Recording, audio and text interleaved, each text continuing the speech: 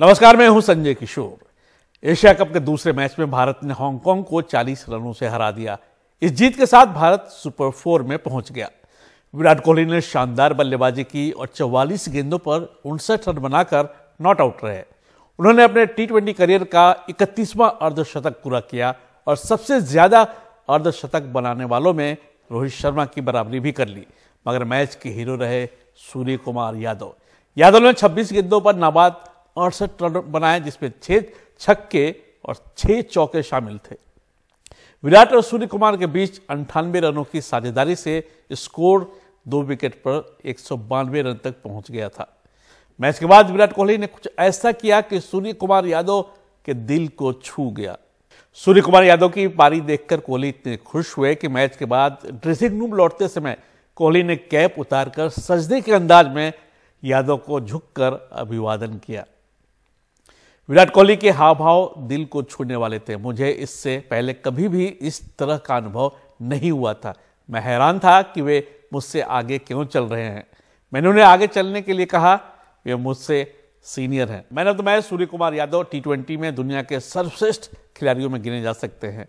चौदहवें ओवर में बल्लेबाजी करने आए सूर्य कुमार यादव ने तूफानी बल्लेबाजी की और 22 गेंद पर ही अर्धशतक पूरा कर लिया। अड़सठ में से साठ रन उन्होंने बाउंड्री के ज़रिए बनाए। बाद में उन्होंने बताया कि रबर गेंद पर लगातार अभ्यास करते रहे हैं। मैंने उनके साथ बल्लेबाजी का भरपूर मज़ा लिया। हम बात कर रहे थे कि आगे टप्पा खाने वाली गेंद को किस तरह खेलना है। वो कितने अनुभवी खिलाड़ी हैं। बहुत ज़्यादा मैच खेल चुके हैं। बल्लेबाजी करते समय दूसरे छोर पर अनुभवी खिलाड़ी का साथ रहना काफ़ी महत्व रखता है। विराट कोहली ने खुद भी अच्छी बल्लेबाजी की। उन्होंने उनसठ रन की पारी में एक चौका और तीन छक्के जमाए। लेकिन सूर्य कुमार यादव की तारीफ़ कर हमेशा की तरह सबका दिल जीत दिया कोहली के अनुसार सूर्य कुमार यादव ने गर्दा मचा दिया। सूर्य कुमार यादव ने ज़बरदस्त बल्लेबाजी की। दूसरे छोर से मैंने उनकी बल्लेबाजी का जमकर लुफ्त उठाया। ईमानदारी से कहूँ तो पिच आसान लग रही थी, पर बल्लेबाजी करना मुश्किल था। पाकिस्तान पर जीत दर्ज करने के बाद विराट कोहली पाकिस्तान के तेज गेंदबाज हारिस रऊफ को ऑटोग्राफ कर एक जर्सी भेंट की। एशिया कप शुरू होने के पहले कोहली और पाकिस्तान के तेज गेंदबाज शाहीन अफरीदी के मिलने की तस्वीर काफ़ी वायरल हुई थी। अपने मानसिक स्वास्थ्य की बात करने के बाद विराट कोहली में एक नया आत्मविश्वास नज़र आ रहा है।